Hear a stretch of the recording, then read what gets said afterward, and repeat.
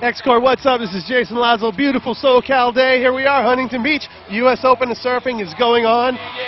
What's the point in desperate measures when we're out of desperate time? When our hope has been succumbed to fear and filled within our eyes. Well, just Amazing day here at Huntington. And right behind me, we have the Converse Coastal Carnage Skate Jam, man. They're warming up in there. It's about to go off in the next couple days. Got some warm-up preliminary stuff going on here. And this, uh, this bowl's bigger and badder than it was last year. It's a double bowl. They got a vert ramp in there. Lots of hips, tight corners. Pro-Am event's going to go off.